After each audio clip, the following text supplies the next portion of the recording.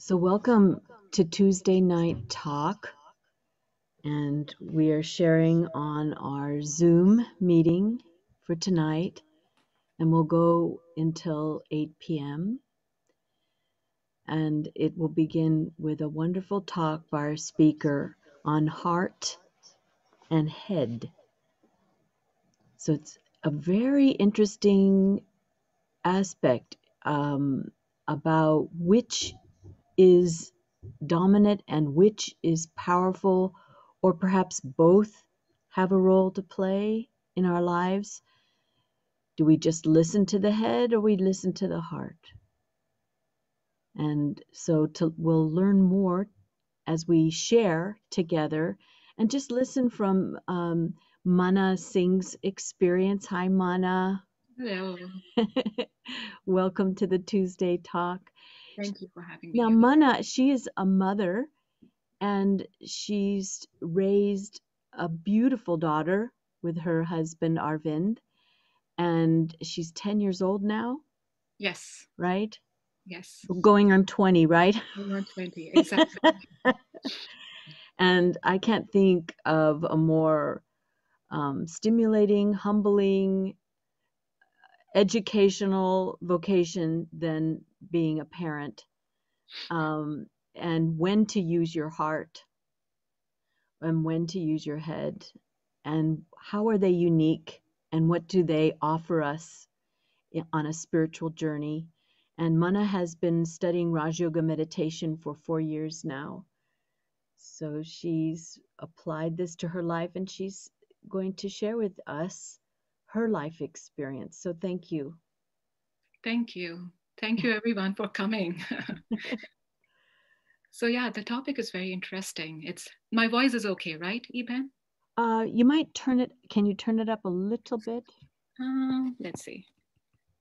or Okay, maybe maybe I just raised my volume. No, no. Uh, can everyone hear Manna? Um, maybe Jayesh or Debbie can just put a thumbs up for us or raise your hand. Yeah, I see Mary Jane with a thumbs up. Great. Okay, good. Thank you, Menakshi sister. So, yeah, this is a very interesting topic head and heart.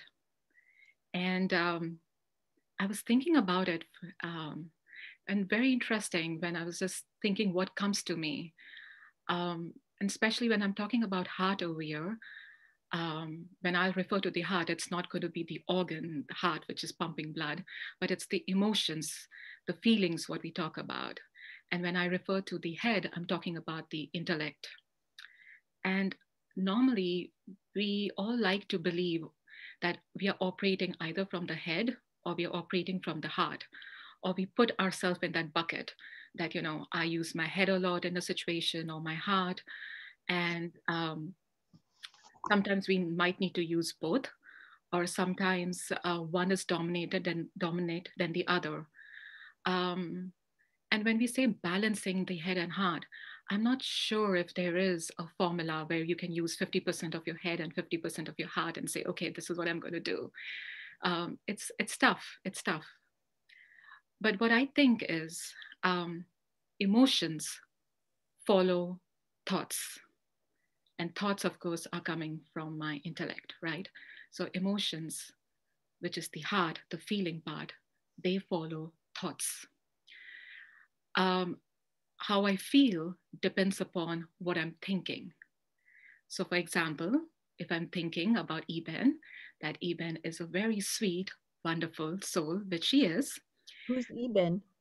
Elizabeth's sister, sorry, short form for Eben. Uh, when I think about Elizabeth's sister, and I, I think I have a thought that she's a very sweet and a very loving soul.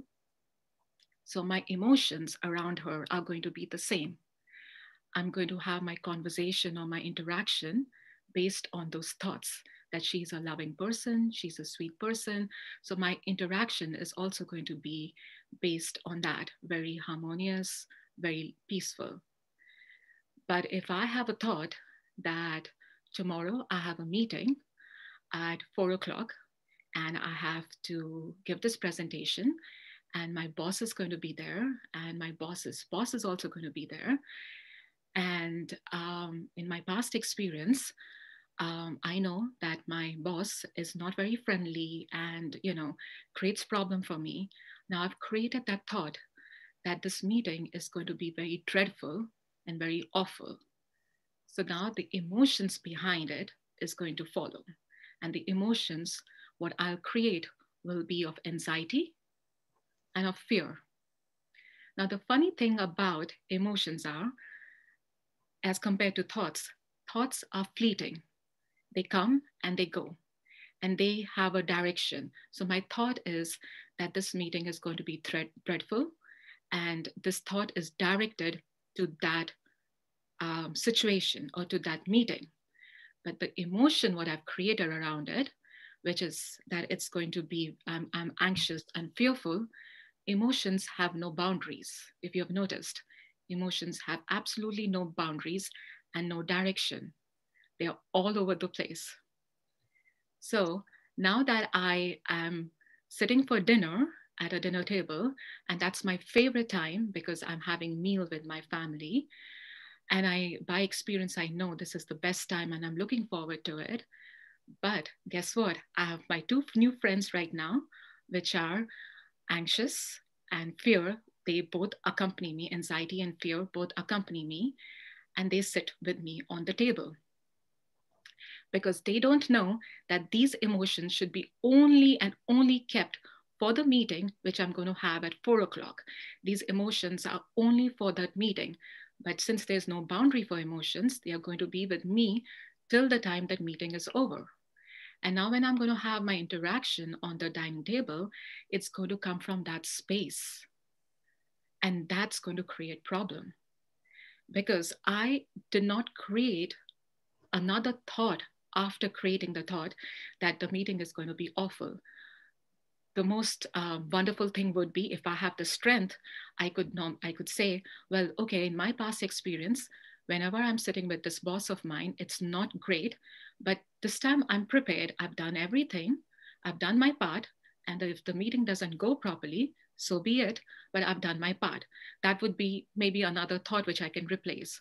Or if I don't have the strength to say that, maybe I can just say, okay, this thought is for the meeting, but usually I have a very good time at the dining table. I'm going to go and have dinner with my family, and I need I need happy thoughts. I need to create that environment. Mm. So I mm. feed myself with happy thoughts. But I don't do that. I skip, I skip all that. And that's where the problem is, right? you might, the other way is that you might feel that emotions, that the thoughts follow emotions. But in my experience, when I think about it, that whether the thoughts are following emotions, for example, you know, I don't know if, how many of you have felt that everything is fine, um, uh, job is fine, and we are um, you know everything is okay with friends and family. There's nothing major going on. But there are days when you still feel very gloomy and very sad right? I mean i've had those days. And um, and there's nothing major which has happened. And then the thoughts come around it. It's like oh i don't want to go for dinner. I don't want to go and meet my friend.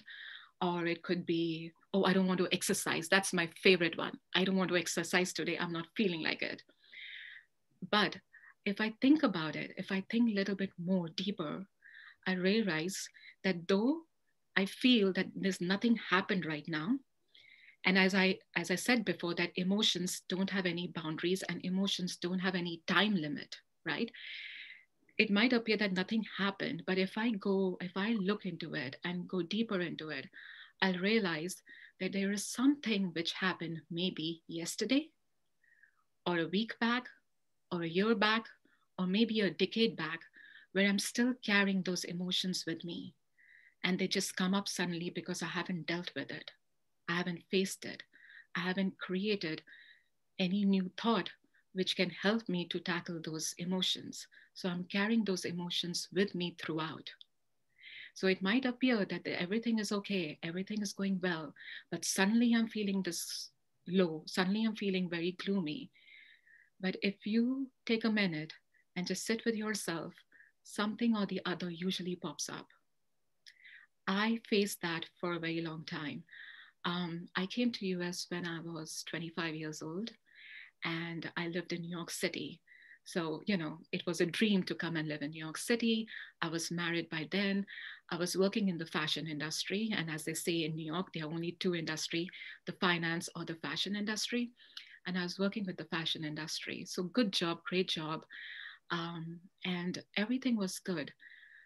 But I still had those moments where, you know, just nothing, nothing has happened, nothing extraordinary, but I have that very low, very heavy feeling and that's where my search began for meditation. And I was like, maybe there is something else which I need to look into, something else which I need to see. And I started my meditation journey with that.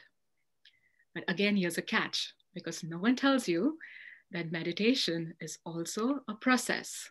In my head, the thought which I had created that, okay, I'll go and I'll do meditation and you know, just like a just with the whip of a, a stick, everything is going to get solved.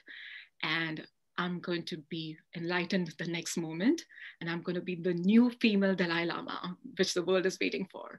So I went with the impression that when I do, when I go for meditation, um, you know, things will change, and I will feel good because meditation is supposed to feel make you feel good. Yes, it does. There's no question about it. But with me, what happened was when I went, I suddenly all these emotions came up to the surface. And later I realized that that was good. That's good because I have to deal with them. That's my cleansing. I need to take care of it. Because if I'm not taking care of those emotions, I'm going to be in this constant loop that my emotions are going to dictate my thought, and which I don't want. I want my thought to be powerful which then can, where, where my emotions can then follow my thought. So I started with my, um, with, I started with that. And when I saw all these emotions coming up, all these feelings coming up, and it was, it took me time to tell myself, it's okay, be patient with yourself. That's another mistake which we all make is like, we want to rush through this. Like, I want to, I want to feel i don't want these feelings and i thought i was better when i wasn't doing meditation because i never felt all of this small small stuff came up me being um, uh, i saw myself being jealous i saw myself being irritated because of small things i saw myself being frustrated because of small things and i'm like i didn't know this about myself at all and this was hidden somewhere, right? But when this comes up, it's good. It's good cleansing, and you need to peel each and every layer and find what's within. And that's that's how my journey for meditation started.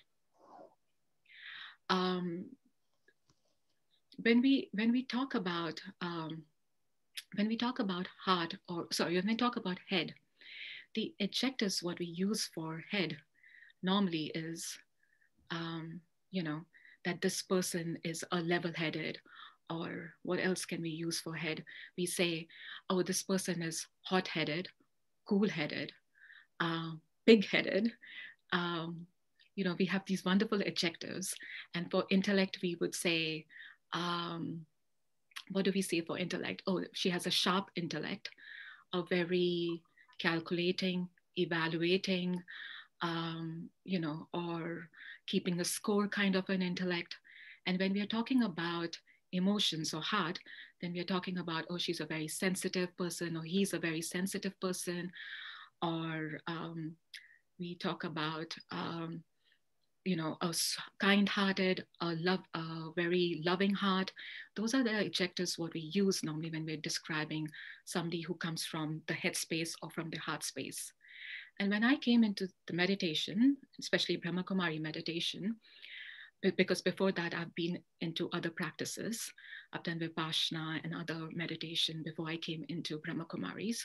So when I came here, I learned new words, and which were clean and clear intellect, refined intellect. And these were very new words. And for heart, a very true heart, and these adjectives were very interesting. And mm. I thought about them. It's like clean and clear intellect. Like I know how to have a clean body, but what do I, what does one mean by having a clean intellect? And when I started thinking and started learning about what does it mean to have a clean intellect, I realized you need certain tools to help first clean your intellect. And those tools could be, uh, for me, the tools are knowing the truth about myself. And not the truth what people have been telling me. That seems like you know a partial truth or maybe a temporary truth or false truth because it's based on someone else's perception right? So i have always been listening to people talk about me or situations define me or people define me or tell me who i am. But that that that kind of a truth is based on situations and based on people. That's not the truth or my truth or the eternal truth. So then what is it? What is it which is the truth and my eternal truth and then when i came across these words where i realized that oh okay so i am this eternal being and the truth is that i am a very loving, very peaceful, very powerful soul, and a very pure soul. When I when I started seeing myself through that lens of a loving, powerful, I mean, just saying the words, just saying those words bring in the emotion of love and power and peace it suddenly changes your consciousness. Just just talking to you right now when i'm saying that and that's why i'm repeating myself that just i am that eternal being full of love full of purity full of compassion and kindness. And when i started seeing myself through that lens then it became very easy to clean myself or clear my intellect because then I had to just go back and sit with myself and see what comes up and see if I can I can view the same situation now with this lens, this new lens which I have. Can I go back and see the same situation or the same people who have hurt me or the same situation which has caused a heartbreak? Can I see that same situation with this light now? You know, um, normally um, we normally build a lot of stories around ourselves when we have very limited knowledge or very um, limited perception. Uh, and my favorite one is when I look, when I see my daughter, right? I don't know if you have interacted with kids, your kids, or maybe um, your cousins. Uh, you know, you'll see them that they are in there, they have a very limited perception about the world right? They're still they're still relying on you. They're still growing. They're still looking at the world. Um, so they have very limited perception of what the world is out there. So for example if i'm taking my daughter to a birthday party and there's a big feast i know and she's going to meet all her friends there and there's going to be all lovely stuff for her like pizzas and sandwiches what she likes and pastas um, and cakes and cupcakes and all the goodies. And I know I'm going to, I'm going there, I'm driving and I'm taking her there. And uh, we'll reach that place in just 15 minutes. And then suddenly she looks out of the window and she sees McDonald's. And now she wants French fries. And she'll start asking me, Mommy, I need French fries. And I'm like, No, just wait. You're just reaching there and you don't know what's in store for you. So just hang in there. And she, of course, might throw a tantrum and say, no, I want French fries right now, and this is what I want. And I'm trying to explain it to her, but she doesn't see what's going to happen ahead, right? What's going to what she's going to get, and is she does she want to trade or trade the feast for just some French fries at this moment and spoil her appetite? So she doesn't see that, she doesn't view that. But her perception about me is going to be, oh, mommy's bad and mommy doesn't give me anything and mommy doesn't understand me and I wanted this French fries and, you know, and all of that, right? So that's, but now, but the way I'm seeing it is I'm seeing the same situation by zooming out. And I'm seeing it by seeing what's going to happen ahead and what's where she is at this. And that's why I'm able to make that decision for her. So, the same way, once I know that I am this eternal being, that I am this powerful, loving, pure being, can I go back and see those same circumstances, those same situations, and zoom out and see is there a different way I can handle this? Or a different way I can create uh, stories in my head because we all have stories, right? We all fabricate stories regarding a situation or regarding a person. So now, can I can I change that? Can I see it in a different light? And now, when I do that, can I free myself from that? Because I have these emotions, small bits and small pieces of me left in those stories. I've left myself some uh, some little energy here and there I've left because I have not made peace with it. I haven't looked at it, cleared it, or cleaned it. So now can I go back with this new lens and, and zoom out in that situation and see, does it really matter? Was there any truth to it? Can I free myself? Can I free the other person whom I'm holding on for such a long time? And then can I free that, those emotions which I've been carrying for such a long time? Can I do that? So it's some, some same example again i bring my daughter you know in the picture and thank god she's not listening because normally she is listening to these talks um, so i'm glad she's not here but um, um, so the other example right when they are playing with plastic toys or with a stick and um, they get into a fight and that stick is now of great importance to her and to the other kid and they are having a fight over it. Now, I know that she has a backyard full of trees with the same kind of sticks, with the same kind of, you know, trees, and she can take as many sticks as she want. Or she's going to forget that stick the moment we sit in the car, and I have to keep that stick properly for her somewhere in the house.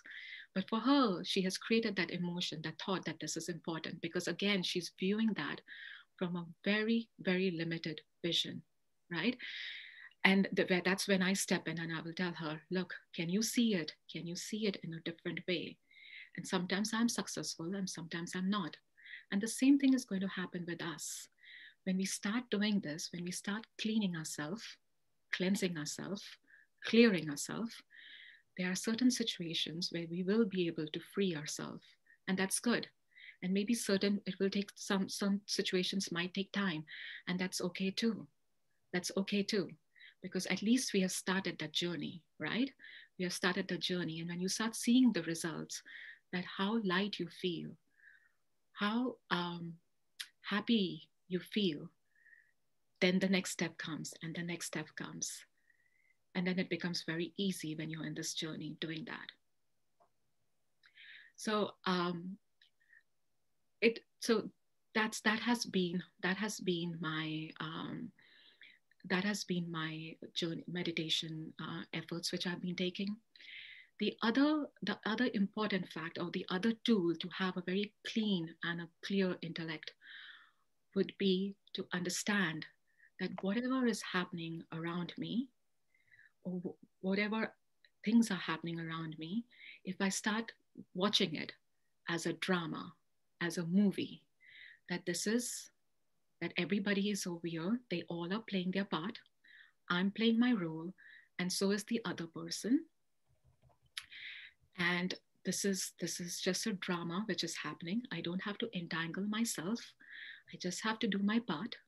And again when i'm doing my part i'm wearing that lens of knowing that i'm an eternal being full of love full of light and can i then play this part in this drama and play my role accordingly. And when I do that, most of the time, you know, we all get stuck in the past, right? So can I, can I, whenever something has which has not happened my way, can I say that's happened in the past and now I'm putting a full stop to it and I've understood, I've taken my lesson from that, and now I'm moving on. So some situations happen which are not in your control, and then it's easy to say, okay, I did my best. And now, full stop, there's nothing much I could do. And I'm moving along. there are some situations where maybe, you know, um, you do not handle it properly. Like I, I have been in that situation where I haven't handled certain situations properly. I haven't dealt with somebody uh, properly. I've been, you know, not in my best behavior. So in that case, have I learned anything from that? Can I take that? What mostly happens is, in my case at least, I take the emotion from that situation forward, but not the correction from that situation. So what I'm doing is I'm like, okay, I could have, should have, would have done that, maybe this, maybe that, which is absolutely of no use to me at this point. But what is used to me is, okay, something, what I did was wrong. Can I, can I see it in a different way? Can I correct it? What are the steps which I need to correct myself? How can I make sure this doesn't happen next time? So the lesson for me was here, which I have to remind myself, take the correction from the situation and leave the emotion behind and then move on. Mm. And that will help again to keep um, you know keep your intellect very clean and clear the other thing what's helped me also is just writing down um, every day before i sleep i make sure i have I, whatever i can i just scan my entire day i see um, you know how what has happened how did i do my part? Was i what did i do did I, did I do my part really well? Was there any um, place where i could improve myself? What can i carry forward for the next day? Again the correction what i can carry for the next day and make peace with myself before i sleep. And then when before i sleep i have these elevated thoughts with myself really powerful thoughts because thoughts have power in them right? All the thoughts have power. And so if i create if i by the end of the day if i've gone through everything and i've written down and i've seen okay where else which are the places where i need a little bit more work and which are the places i did very well and i have this chart for myself and there are times when i'm not writing but i'm just sitting in meditation and just going scanning my day just sitting in silence and just scanning my day and seeing okay what what what what is it that i need to do? And um, you know you, you all must have heard this uh, many times but during corona times especially i you know because life became so fragile and everybody you know everybody anyone whom i knew knew someone who was facing some or the other problem. So i made sure to tell myself if this was my last day do i need to correct something? Do i need to if, if i sleep and if i don't get up the next morning is there anything which i need to do before i sleep? So if it is going and just talking to my daughter because most of my interaction is with my daughter or with my husband. If there is something which i need to correct or to say then just clean and clear at mm-hmm. that point and not linger it on to the next day. It, if it is difficult to confront and talk to them then just through meditation just send them those those wishes those vibes just talk to them as if they are present in front of me and i will just i will just talk and say okay this is what i did. You know sometimes if my ego comes in between and i don't want to go and tell my husband anything so then i'm just talking to him um, through my mind and i am but i'm making sure that i'm cleared off and it doesn't go the next day. And that kind of also helps. Um, and when when you start doing that when you start having a clean and a clear and a refined intellect you will see your emotions are then your emotions or your heart is stable. You know you want your heart to beat at a stable rate. You don't want it to go up and down. So then you realize you will see that your heart then is stable and beating at the right rate. It doesn't need to go up and down. You won't be oversensitive or very emotional and your emotions will be in line with those thoughts which you're creating. And that has been really, really useful. Um, while I was just talking to you guys, I just remembered about this writing, writing uh, part of it, right? um, how just writing and how just seeing things from a different perspective or from a different lens makes it um, makes it interesting. So, uh, as Elizabeth's sister said, uh, Arvind is my uh, is the name of my husband, and he's he's a very loving, sweet person, sweet soul, but um, he has this habit, uh, or I find his habit, one of this habit of his, slightly bothersome. I used to find this, which was he used to forget things. And um, I always wondered how, how is this even possible? Because he's in the financial sector and, you know, um, dealing with big, a big team, uh, dealing with big presentations and, um, you know, the whole, how the whole financial sector works. And he surely does a good job because he remembers everything. He remembers when his meetings are, he remembers whom he has to call, what email he has to write. So whether we're having dinner and at nine o'clock, he'll suddenly remember that I have to write this email to this person, remembers everybody's name or everything. But when it comes to the house, he won't even remember the second sentence or the first sentence. So as simple as if I have to tell him, Arvind, can you please go in the kitchen and get me a glass of water? So he remembers, go to the kitchen, but get me a glass of water is gone. It's absolutely no remembrance. So he'll go in the kitchen, come back and ask me, okay, what, what did you want? What were you looking for? And I, can't tell you how much that used to irritate me. And I'm like, how do you remember so many other things? And it's only my stuff that you don't remember. And, uh, you know, that's not being fair. And, you know, the whole emotions behind that, that how is this? Because the intellect tells you, that he remembers everything, but why not my stuff, right?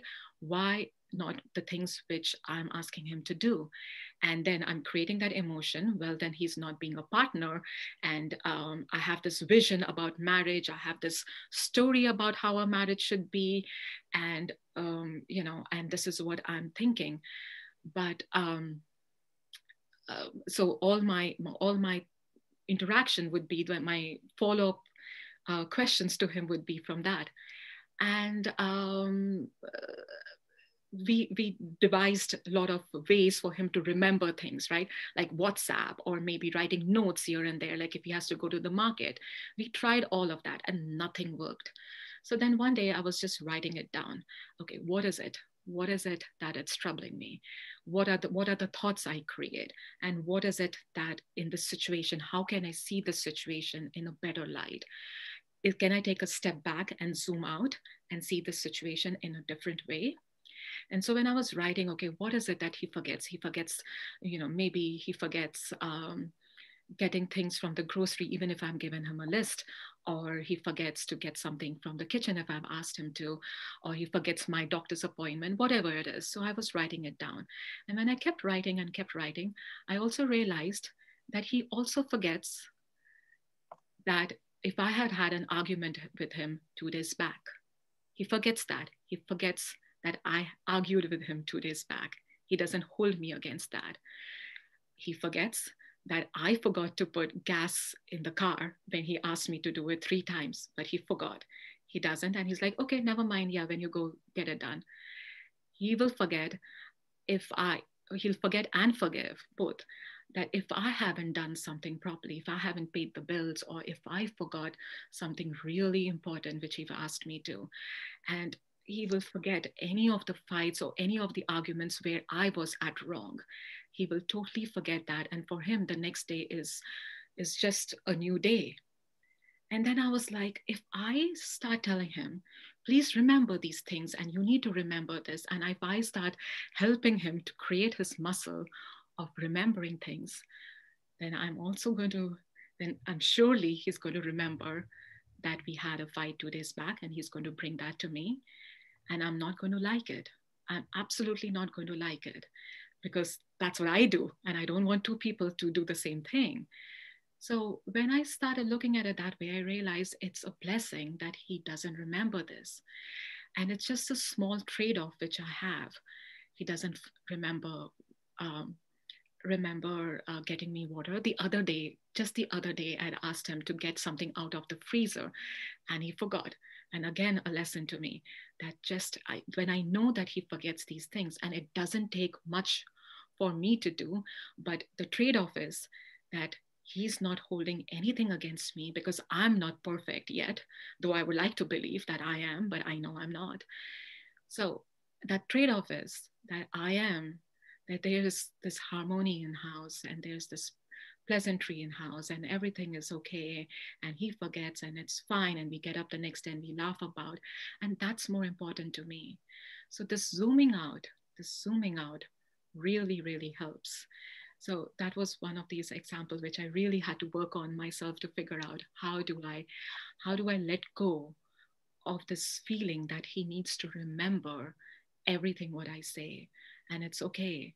It's okay as long as he remembers the important stuff um, and the rest i can deal with that. Um, what else? I had some another yeah about when i when i was talking about the meditation and you know when i started this whole um, cleansing process of mine. You know we don't even realize that we have such small things. It doesn't have to be something big. Nothing big has to happen to us. It's just that we have created and these stories around us. And we are holding those stories. And you just have to sit with yourself. When you sit in meditation it will take time. These things will come up. They will come. You will and slowly you will deal with them. You'll understand how to go about it and it will definitely free you um, as i was saying that i was um, you know i was in new york and had everything going very well for myself but there were days when i was very very without any reason used to get very sad uh, and then when i started my meditation process um, and when these things started coming up I realized I had this pattern of just feeling sad for no reason, right? And when when again when I investigated and went further down into my childhood, I realized that um, my my father you know both my parents are again very had a very good childhood but something very small like this he there was a um, there was a movie which came out and i think um, it was about this um, about these princes. I believe in olden times, the princes and the queens, they had these chamber where you can go and sulk, and they were called as Kop Bhavan in Hindi. Um, so a sulking chamber or sulking room, right? And um, and he had just seen that, and he found me sitting in my room, just doing my own thing, and he just said, "Oh, she's just sulking in her sulking room or in her sulking space," and um, he found it funny. I don't know why, but he found it funny. And then he just happened to tell his friends, whoever came in the house, he happened to tell, oh, you know, I might, might have looked very cute when I was doing that. I was a chubby child. So I might have looked very cute. And then he started telling everyone, oh, you know what, she was sulking uh, and she sulks in that sulking room. And um, so he said that once to his friends. Now he has 20, 30 friends. That story got repeated 30 times and then again 30 times. So what I made, so that's where I was saying that, you know, the truth about ourselves based on other people's perception or other people's knowledge, right? So I I gave power to that that sentence of his. And I thought, that's what I am, and that's who I am. I sulk. And I, for no apparent reason, um, that that is what I do. And I carried that through through my childhood, through my adult. And way in my 30s is when I realized that no, that's not correct. I then called up my mom and asked her, How was I as a child? And she told me, Well, you were a very happy go lucky child. But this was just a story which I held on to and wasn't mm. necessary. It wasn't absolutely not necessary. And I can free myself right now. I know the truth, I know what it is and I can let go of that. And then slowly, slowly, when I started working on that and just, you know, just understanding that my father just did that in his own um, innocence without giving that much weight, but I gave weight to those thoughts. I give importance to those thoughts. And I know I know better. I know better of that, right? I know much more than that. So now, can I go back and free myself from that? Just small things. Um, the other example which comes from my in my head is um, that I had glasses at a very young age. And I'm going to give my age, but 30, 30, 35 years back, you know, very few kids had glasses at that time. Um, and I was one of them, and I was bullied because of that. Now, again, I carried that. I carried with me, and I made this impression that okay, I I don't look pretty, and I'm um, you know I just have the I had this notion that I'm not beautiful or I'm not pretty. And then when I came to New York and I was working in the fashion industry, um, you, you, can imagine when, you know, especially when the girls, when you use the restroom and the girls are freshening up their makeup or looking at themselves in the mirror, I used to just wash my hand and just run out of that. I didn't want to see myself in the mirror.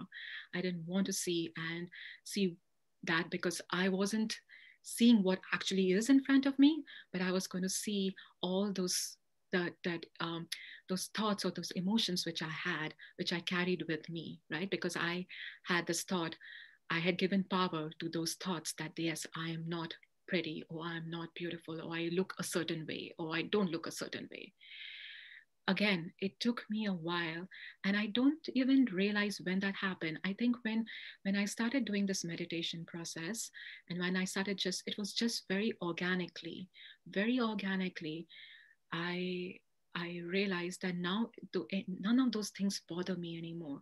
Now i have a choice whether i want to put a reading class. And if I'm okay with that, if I want to have my hair pulled up, if I want to oil my hair or not oil my hair, now it's coming from my choice. I don't have to put on, I don't have to see myself from there. I might have the same physical appearance or the same, you know, beauty or no beauty or whatever it is. But now the way I see myself is not through that. I see myself as this very loving person. So now it doesn't matter to me. Now it becomes my choice whether I want to dress myself up or I don't want to dress myself up. I'm very comfortable because I know what my truth is. And I've stopped looking at my truth through other people's eyes or through the situations. And that becomes very, very liberating. So, yeah. I mean, I can I can go on with my with my examples or with my spiritual journey. Um, Eben, did you have something for me? Did you want me to? Uh, oh, you know, who am I to say? I don't. You're doing great. Um, I know we have another 10, 15 minutes. But... Yeah. Uh, no, I was just talking with Manna the other day. Uh, I talk with Manna ever so here and there when we get a chance and I just knew she had something special to offer. So, uh, you know, I think you're doing great. This is her first time actually delivering a a talk. You would never know that, would you? and um, but you know, since you asked, I I think it's interesting because you keep saying meditation process, as if there is like an unfolding or steps. Could you maybe specify what that steps has been for you? Um, and then maybe is it something that kind of comes back to itself? Um, because this might be helpful for people who are learning meditation or even those of us who are experienced and have had a meditation practice for some time. Um, because it's nice the realizations you've had and then I love this word zooming out. this is really nice. Right. So it, you've developed some skills and some tools. And so how how does that work for you in your meditation? What is your process? Right. So the first thing um, what I understood is, uh, and it took me a while. It really took me a while, um, is to be first gentle with yourself, very gentle with yourself um, it's as if I am dealing with myself, um, me, the child. Like I am my own child and I'm dealing with that. So when I bring that same thing, I, I see how when Meher was born and the way I talked to her, right? Because she did not know much. She was still learning. She was still understanding how the world functions around her. And in a certain way i also i also did not know. The whole meditation thing opened my eyes uh, where i could start seeing myself in a different light. So that's why first was just being gentle with myself because i have been my biggest critique. I have been there where i have said some very harsh words um, to myself and um, that doesn't take you anywhere. That really doesn't take you anywhere. So just first step would be just gentle with yourself and it is a process. And then the second uh, the most important for me was that the the impression what i had carried that meditation will you know the moment i go into meditation the first class i take and that's it. Things are going to be perfect or i will you know as i said i, I will know i will know better. And um, for me um, yes I, I liked the process but i also in at the same time i had these these barrage of that like just like flood and trucks and full of emotions come up at the surface for me. Um, and I didn't want to face it. I just wanted to run away from it. I'm like, no, I'm here for meditation, and I'm supposed to feel this joyful self and this happy self. And here I'm dealing with all these emotions and what's wrong. Maybe I can't, I'm not good for meditation, also, and you know, the whole thing. Um, so initially when i did that the first time i was like okay this is not working. I went and spoke to my teacher. And the other thing would be yes have a teacher have a meditation teacher whom you can talk to. Because i can bet most of us have gone through whatever you uh, are going through. So I, when I, and we, we just hesitate, we think, oh no, this is only happening to me, right? I always kept on thinking, no, this only is happening to me. And everybody looks very calm, everybody has this perfect smile, and it's only me who's going through this. But talking to one person at least, one meditation teacher, uh, helps because they have they have the experience they know what it is they have also gone through it maybe not exactly what you have but something similar to that and they will be able to guide you. Because my first instinct was to run away from this and then put myself at uh, you know put my energies at work and do what i was doing because i felt at that point uh, when i'm doing that i'm away from all this. Nothing is coming up. But uh, but then uh, you know as i spoke to the meditation teacher and they told me no it's fine. You're doing fine and this is good. This is happening to you. This is in fact really good because you will fasten the process you you know and the way they told me and it made sense that you know this is this is how you fasten the process because everything is coming now you have to deal with it. So don't worry just go with it. Just see take one step at a time.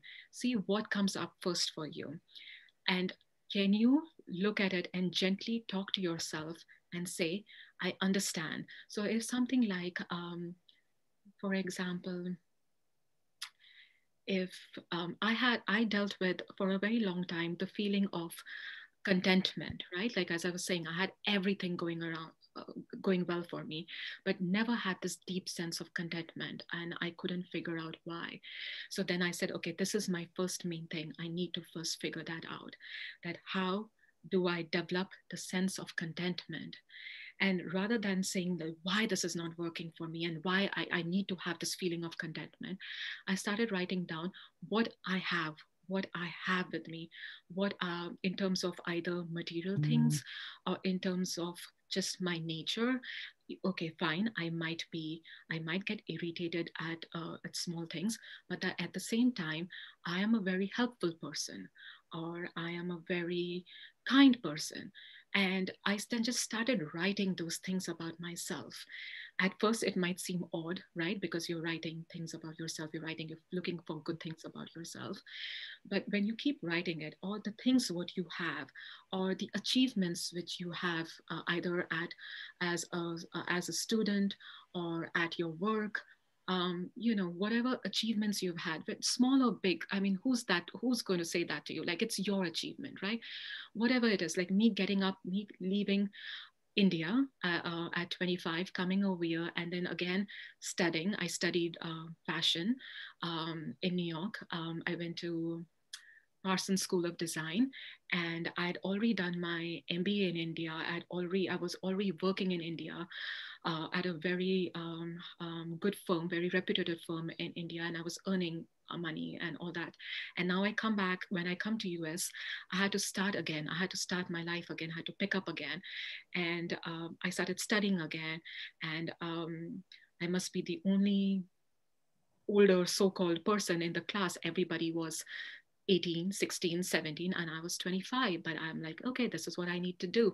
So that achievement like i came i studied i got the visa i um, I got job in really good companies like FAO Schwarz and Macy's and Bed Bath, and you know I had that those kind of a career. So whatever it is, I kept on writing that about myself that I had this, I had this, and then while I'm writing, just gratitude towards it because that was missing that piece was missing.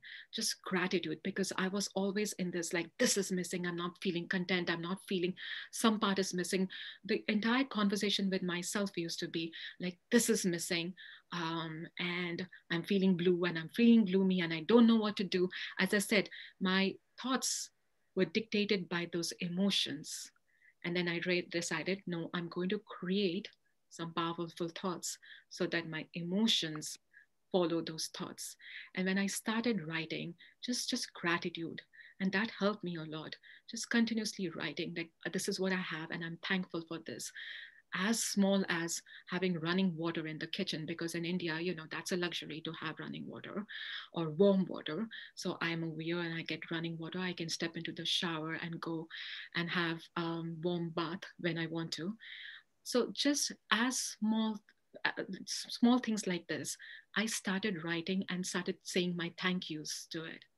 And slowly, slowly, I don't even know when, that sense of contentment, that sense of fulfillment started happening because I could see that what all I have achieved, what all I have with me, what all, like how my life is full with these blessings which I have received, which I had no idea because I just took it for granted and I was just focusing on something very small.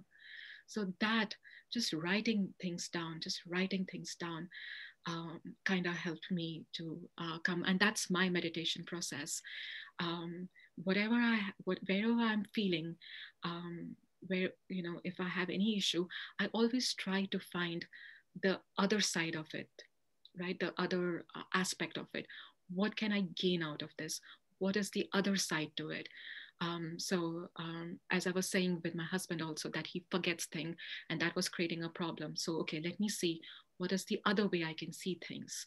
So that that kind of helps me, and that has been my process. Mm. I like um, you know uh, some of the tools that you've talked about are really useful. One of them, leave the emotion behind. But it, uh, what I heard was it's not that you discredited that motion emotion, you you faced it, and um, even honor. Yes. Yeah. What was yes to kind of like well where what do you need and yeah. to talk to talk to yourself like you would to your daughter. Yes. you know, what is it that you really need? You don't want French fries, do you? You don't want that short-lived, uh, you know, fulfillment. You, right. you, want the real thing, don't you? Right. Exactly. And, and then the, the other tool was um, to really understand that what is stimulating our emotions or our dispositions or how we see ourselves, how we see life, is to under, is to understand the impact that our thoughts have. Yes. It's an easy concept to grasp and to understand. But when you are able to identify a rooted thought behind the emotion, it's really liberating. And I think this is where I you get this term zoom out or I'm assuming what your meaning is getting perspective. Correct. So that the emotion doesn't have a hold on me, that I actually see you, meaning I see the emotion and I see the thought. Yes. And by being able to have be a witness to this uh, process, you could say, as you've been mentioning, of uh, and then the meditation allows me to be detached from and to observe the thought process and um, the effect. It's really an emotions are an effect of our thoughts. That's right. That's and, right. And and so not to uh, what I heard also not to take it personally, to talk to yourself, clearing and letting go. Right. And then and, yes, go ahead. Yes. Sorry. And always keeping some tools like I, you know, when I say some tools, like some when I know if I am going to in that direction, if I am letting emotions take better of me, then certain thoughts, certain tools is what I call that I need to have in my kitty, where when I know that this is my pattern, this is where I'm going to go, because we all have a pattern, right? We all by now know our pattern, that this is how it's going to be, and I'm now going to feel like this, and now I'm going to be in that mood for a long time, and now I have to pick myself up. So I keep some handy um, so-called thoughts for myself, which which I am able to pick myself when I when I read it or when I write it. So it's anything. It could be anything which you like. Maybe it could be a saying, or it could be um, something uh, someone said, or something a, a small clip in a movie whatever it is, or just a music piece which lifts you up, but keep some of those things, some of those tools handy. Uh, you know how when we are when when with the child again with uh, with the kids when you are with kids and you know they're having they're having a tiff or they're having a fight and you don't know how to resolve you've tried everything and then you take out candies or you take out chocolates and you give it to them and you can literally distract and diffuse the situation and then everybody becomes happy because now they have these candies and they have these treats with them. Uh, so that's that's what you need to have for yourself. You need to have those candies and treats for yourself that when you know you're going in that again in that tunnel um, you just have those candies for yourself, those sweets for yourself. Could be a music piece, could be any uh, meditation teacher you want to talk to, or some book which you want to read, or your notes, or anything and i keep that also with me um, what works for me is of course when i'm not in a great mood and if i'm telling myself okay i am a very loving person or I am a very peaceful person, that might not work at that situation. Um, I need to be realistic also. But if I say, okay, I am just this light, I am just this, this just energy, just this light, maybe that that sometimes works for me. That sometimes helps me because now I'm just I'm I'm I'm shifting my consciousness. Or if i bring up any situation from the past any situation which was very tough for me and i've conquered that i've i've achieved that i've gone over it and um, i get I, I bring that and i say look i could have i did that all by myself. This is nothing compared to it. I can do this also. So just those pep talks those candies or that sweet you need to have with you so that you can lift yourself in these situations yeah, I think also you had mentioned a lovely method, and that was gratitude. Yes, that's my favorite of all. I think I resonate with that a lot. Um, and in fact, it's nourishing, isn't it? It's sorry. It's it not only it's not just a diversion, like as with sweets. You're actually going to the core of, you know, what is it that I really need? I I don't really need this anxiousness, this right. or fear or doubt. Right. Um, that, and so I love this term you say, zooming out to get perspective. Yeah. And um, gratitude also what works is um, I haven't done it personally, but I saw, I heard someone, I have my book where I write it, but um, and I'm I'm going to try this where you can have a gratitude jar, right? So whatever I'm writing in my book, if I convert those um, gratitude in a piece of paper like you know i'm thankful for having hot water or i'm thankful for having a roof on my head um, uh, or um, i mean those are the basic one but just like you know just having a healthy body or just this just this medium this this beautiful medium this this place where i can come and i can talk to people listen to other people just see all the familiar uh, uh, people around me. You know, I see Shashikant uh, Bhai right now with his video on, like just that, all those, you know, all those all you know this just this space this is also so uplifting. When i just write these things and you can just put them in your in your gratitude jar. So whenever you're feeling little low then you can use that as your candy jar and pick it up and read one of them to yourself. Read it loudly to yourself. And that surely is going to bring you out of it. That becomes your candy jar. The gratitude jar is your candy jar. What a lovely idea. I think we all should do that don't you think, Shashikant Pai? Do you think we should make ourselves a candy jar of these gratitude thoughts and or even maybe a saying or or a truth that you really resonate with and um, pull it out of the jar maybe in the morning? Yeah. Yeah i can't hear you Shashi shashikant can you unmute yourself oh i see I one minute. I have to enable you to unmute yourself. Okay, go. now you can unmute yourself. Uh, he's talking, but he can't hear me. I think. Yes. Now, okay. Yes. Mm-hmm. This is Manna.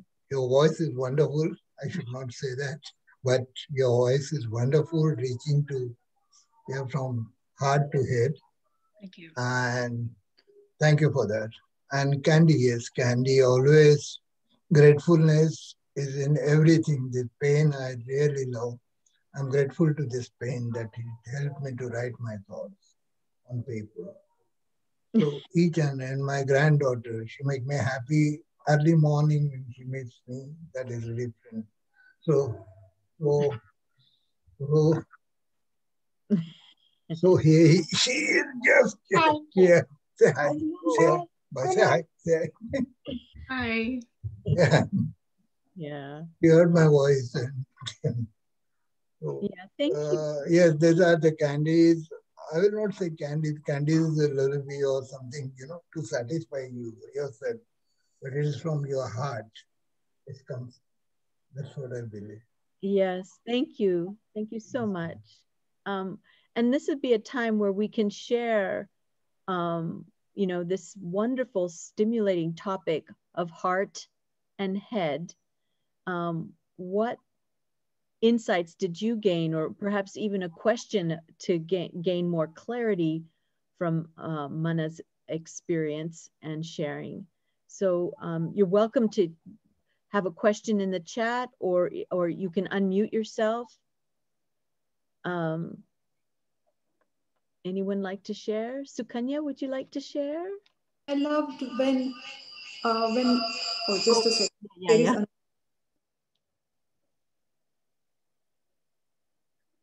She has to unmute, uh, I think. Anyone else while she fixes her, adjusts the sound there?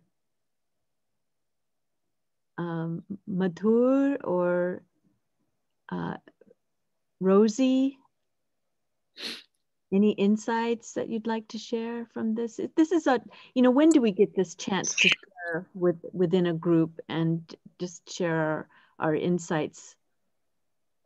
Yes, Madhur?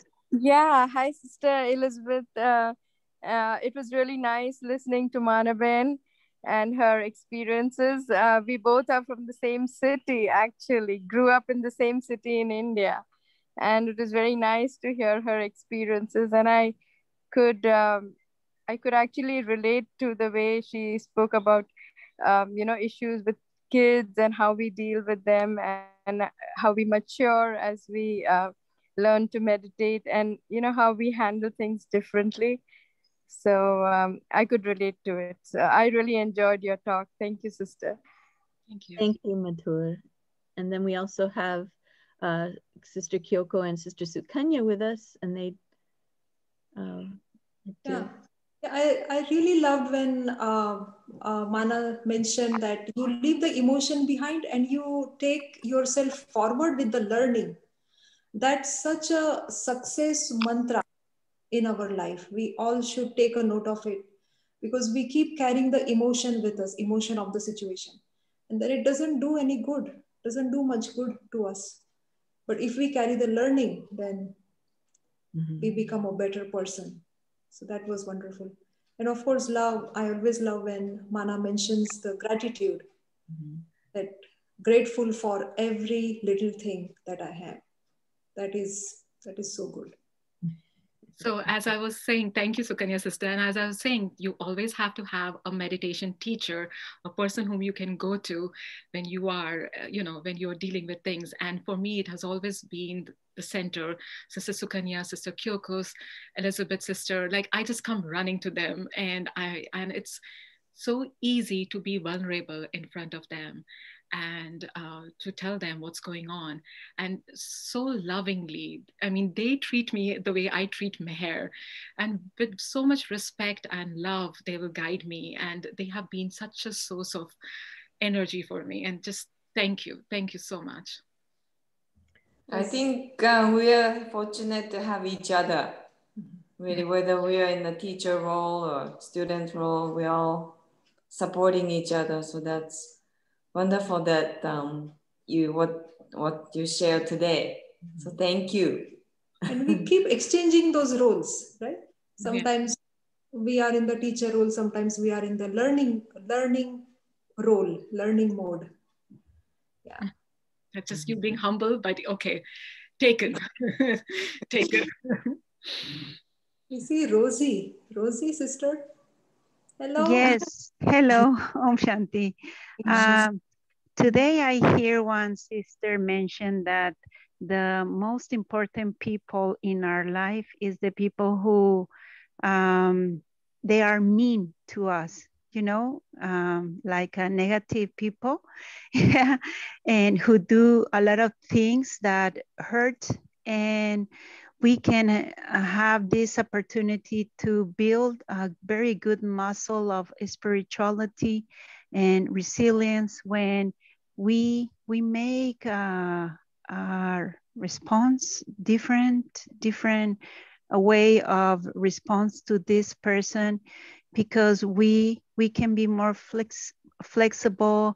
We can be more um, loving caring but to us. And i was when i was here hearing you uh, i was thinking that, that the main person in my life that can tease me is is myself.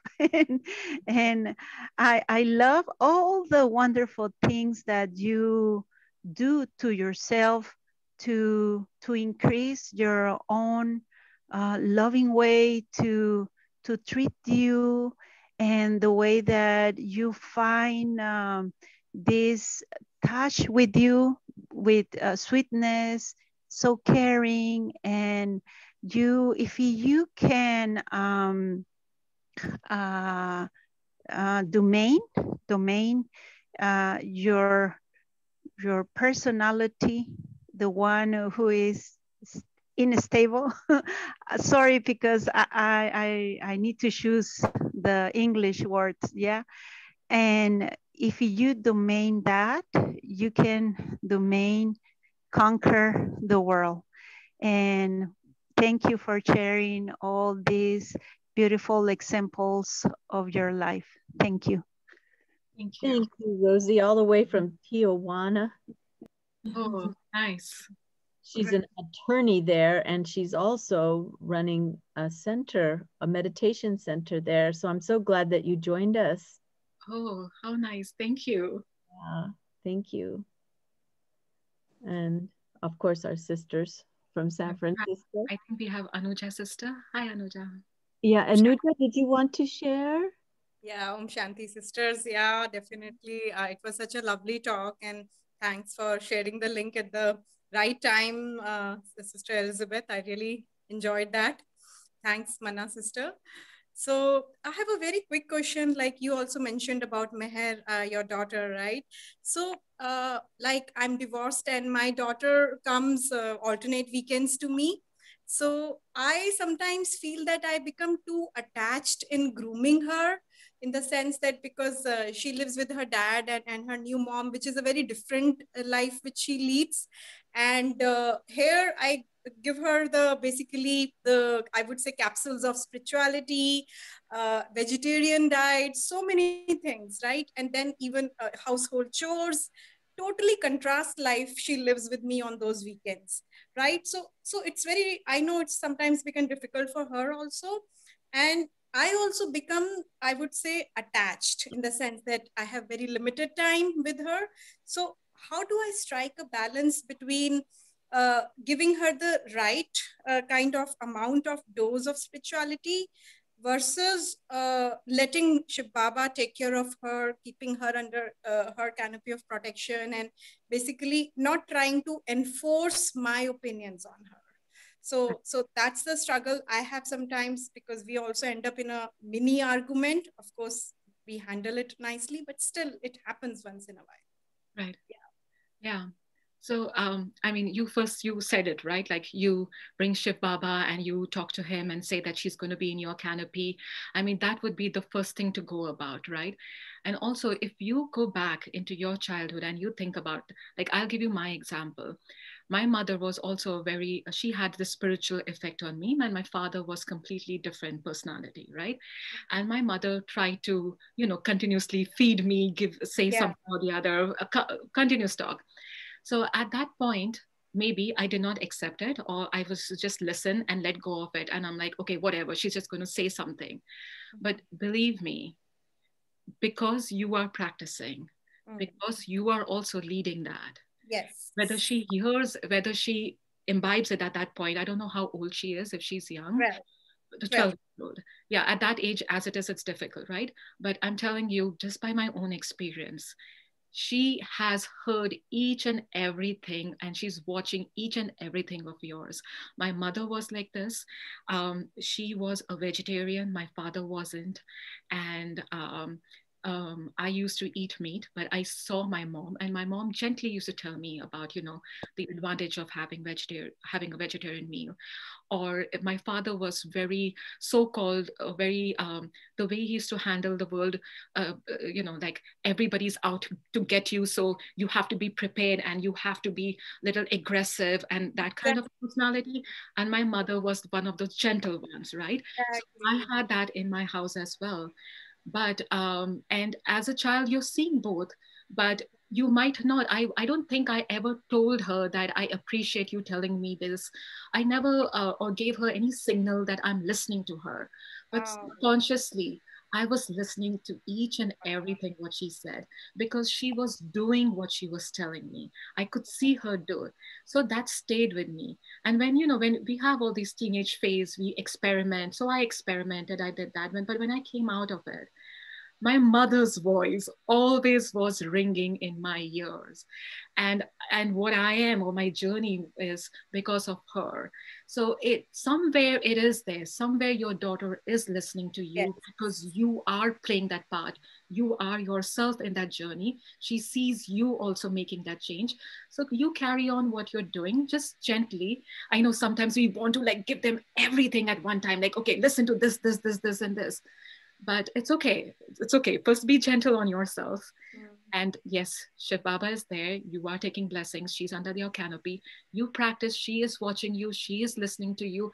She might, at 12, she might not be able to tell you, look, yeah. I'm listening to you. Look, I understand. But I'm telling you, wait, come back to me after five or six years. She okay. will be talking whatever you have told her that. Oh, wow. Sure I have goosebumps right now. So many thanks, Sister Manna very I, I see little changes in her already and speaking or hearing it from you actually reinforces it further no it is. same thing with my daughter. My husband has a different opinion. I have a different opinion.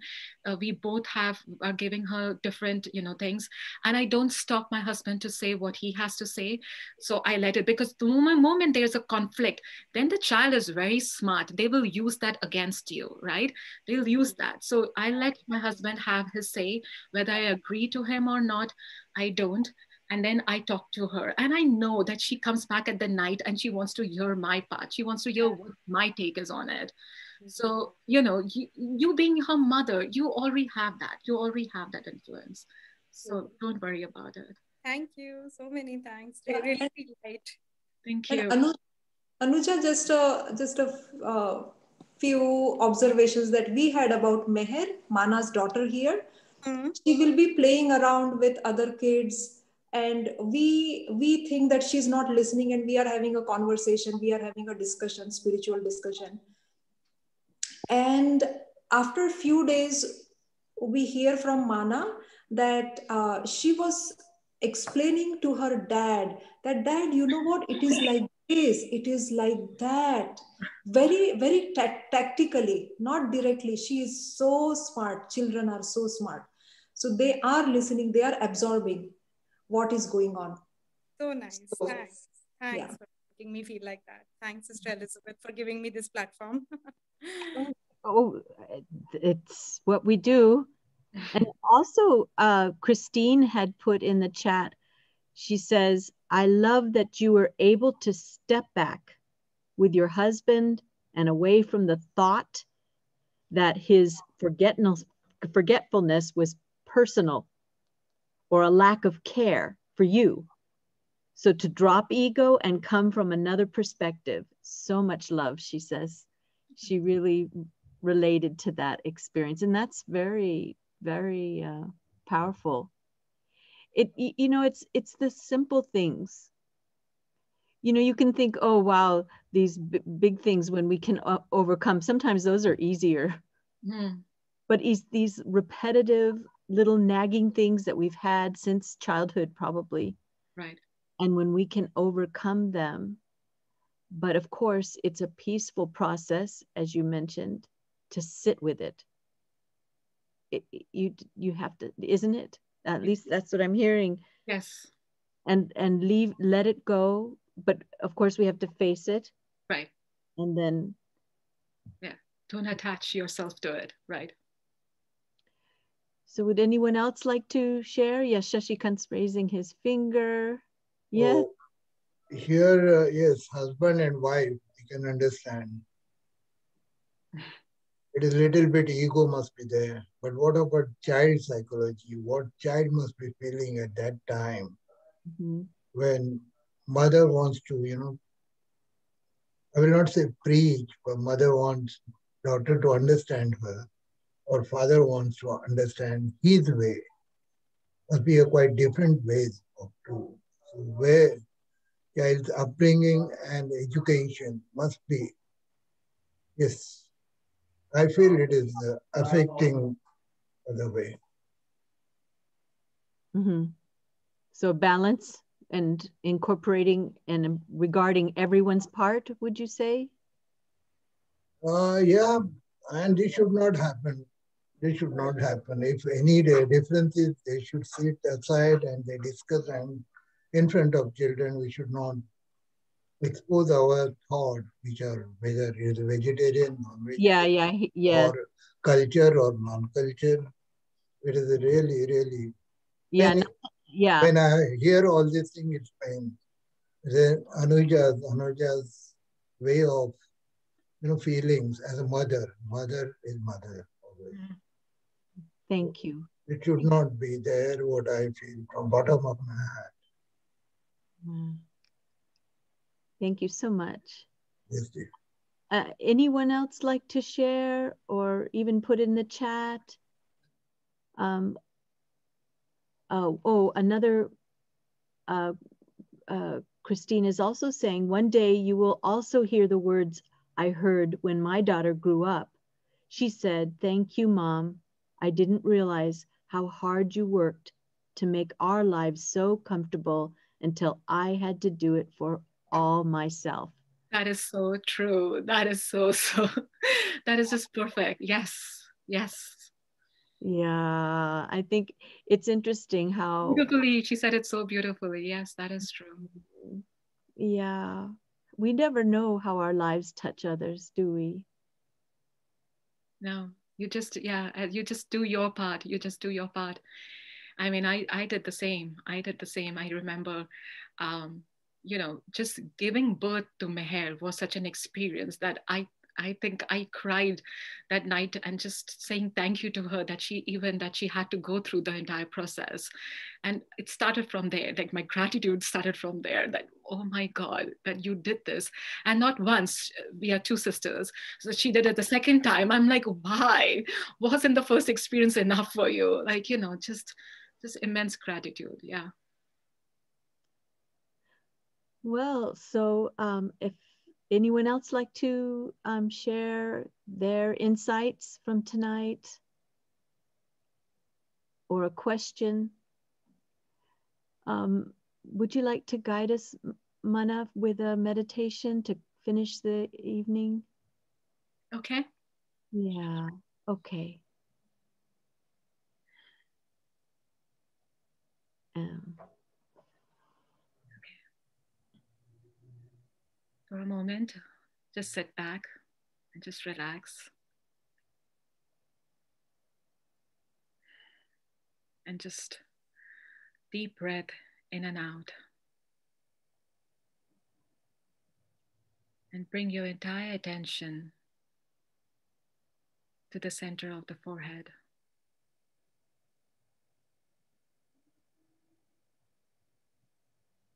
Just gently remind yourself that you are this eternal being. You are a very loving, a very powerful, a very kind hearted, and a very pure being. And that is my truth, your truth, and everyone's truth.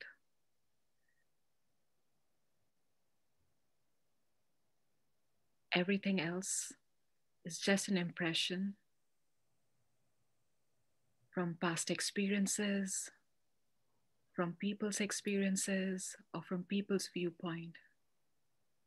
But now I know that I am a very loving, a very peaceful being. And with this knowledge, with this understanding, can I take a step back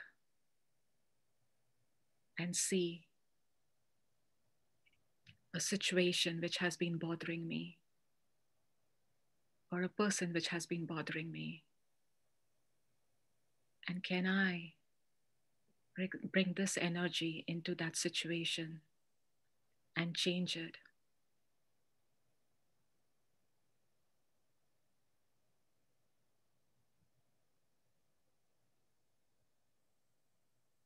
Can I see something else which was hidden now that my vision is broader? My perspective is larger. Can I see that in a different light? And can I release the emotions which I have with that situation and with that person?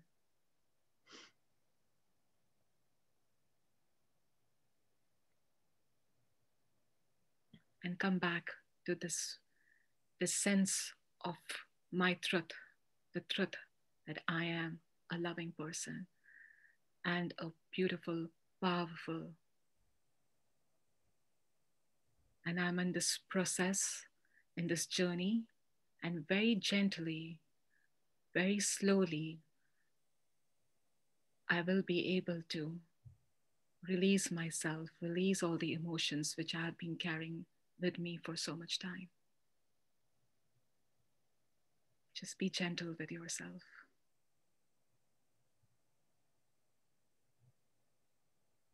Om Shanti. Thank you. Om Shanti. Thank you so much, Manna. Thank you. Thank you for having me. Thank uh, you, every